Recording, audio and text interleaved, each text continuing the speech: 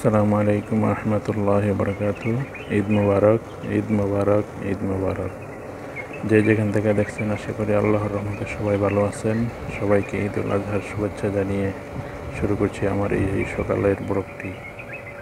আলহামদুলিল্লাহ, আমাদের পার্শ্ববর্তী এলাকাটা এখানকার খুবই ভালো ছিল, দেখতে খুবই ভালো লাগছিল সকাল সকাল।